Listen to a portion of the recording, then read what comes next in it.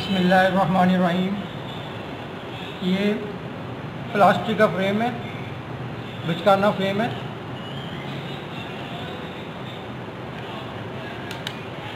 उसमें हम ये वाइट सी आर के शीशे लगाएँगे।